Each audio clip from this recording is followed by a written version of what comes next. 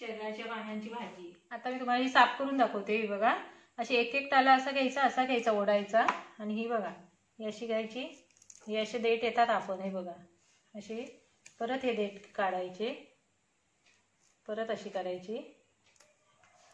म्हणजे सगळी अशी पानं आहेत ती काढून घ्यायची. हा पानं आणि काढून देठ. वेगळे काढून टाकायचे. हा देठ नाही घ्यायची आपल्याला. हे बघा.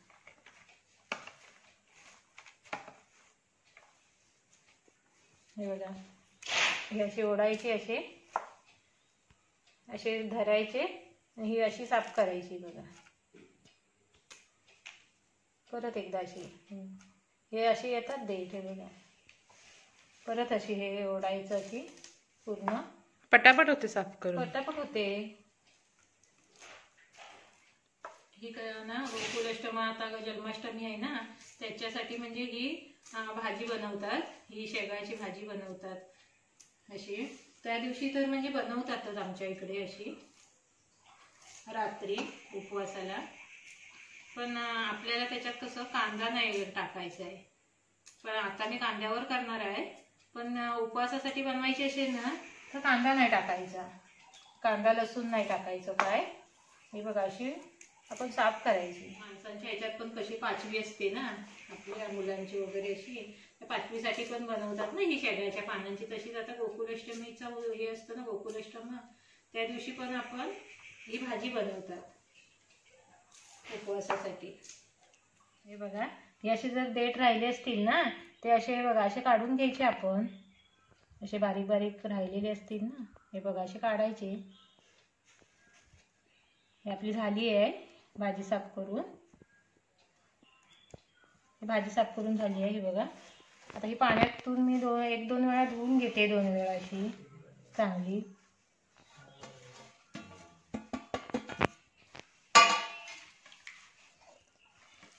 चांगली धुवून घ्या तुम्ही पण स्वच्छ अशी.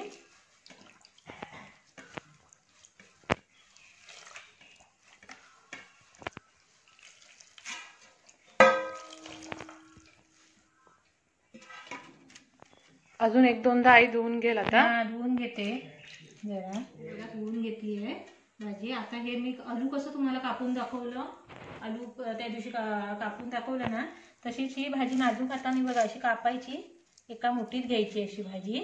आणि तशीच आपल्याला अशी बारीक कापून घ्यायची चांगली. बारीक कापून घ्यायची बघा.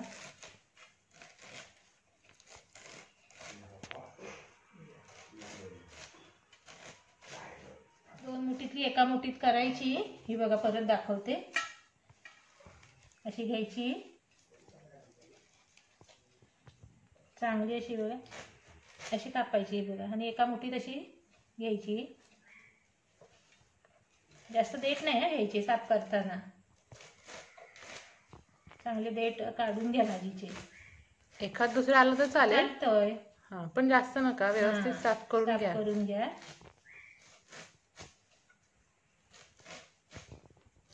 ही आता उरलेली पण आई कापून घेईल सर्व. आता. आता आपली भाजी साफ करून झाली. कापून पण धुवून कापून पण घेतली आहे ही बघा बारीक कापून घेतली आहे. आणि त्यासाठी आपल्याला साहित्य लागणार आहे बघा. हा कांदा हे कांदे घेतलेले आहे दोन चांगले मोठे. बारीक कापून घेतले बारीकच कुठलीही भाजी कापताना तुम्ही पालेभाजी जर करताना कांदा तुम्ही बारीकच कापून घ्यायचा. हे बघा असा बारीक कांदा कापून घेतलाय.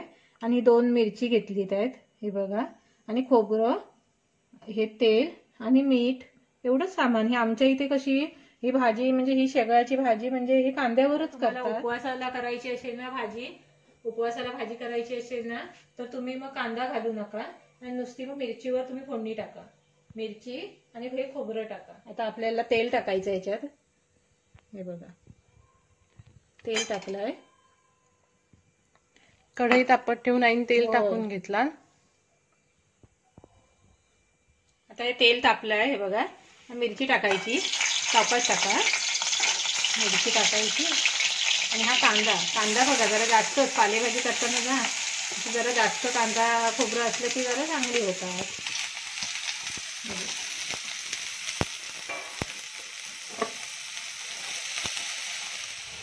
कांदा आपल्याला नरम करून घ्यायचा जरा. लाल नाही करायचा. जरा नरम करून घ्यायचा चांगला.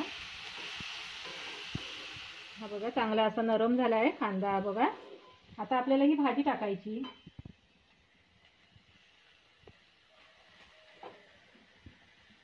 एकदम कमी साहित्यात मस्त झटपट. झटपट अशी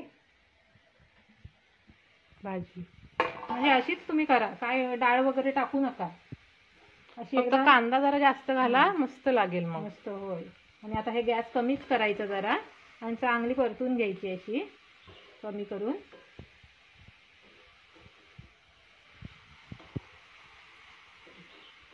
चांगली फिरवून घ्या अशी कांद्यावर बघा. चांगली मग न- ग- हे गरम कांद्यात ही झाली ना की आळते चांगली भाजी बघा अशी तशी. बारीक गॅस करून चांगली फिरवून घ्यायची. आता आपल्याला हे बघा मीठ टाकायचं आहे चांगलं. चवीपुरतं जरा मीठ टाका चांगलं.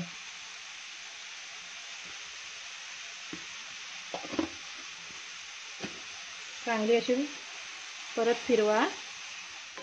हे बघा मीठ टाकलं आहे आणि जरा अशी म्हणजे ह्याला पाणी वगैरे सुटत नाही हा. फक्त बारीक गॅस करून फक्त जरा शिजवायला लागते ही भाजी. ही जरा दोन मिनटं फक्त ठेवते. दोन मिनटं. आणि दोन मिनिटानंतर मग आपण ओलं खोबरं टाकू ओलं खोबरं टाकते जरा.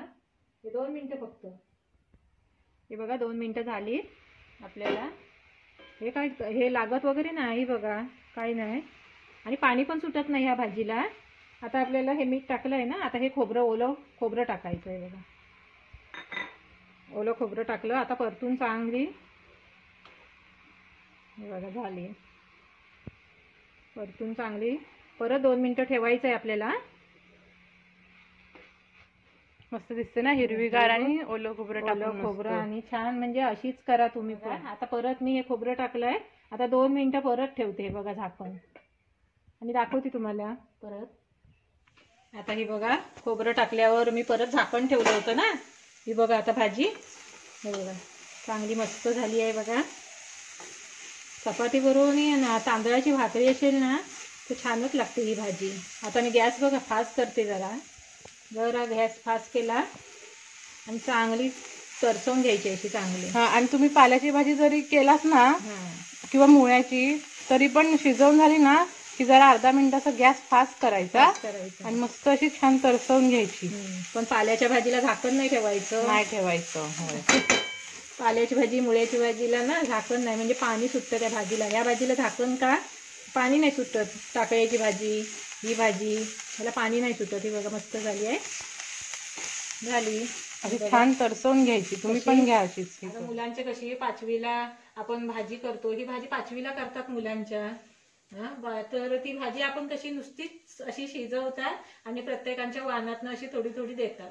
अशी आणि नंतर मग जेवण असतं ना पाचवी दिवशी जेवण असतं ना तेव्हा मग ती हरभऱ्याचं कडण असतं. ना बऱ्याच कडण असतं ती आमटी असते आणि ही शेगळ्याची भाजी असते. मस्त जेवण असतं पाचवी दिवशी. होय.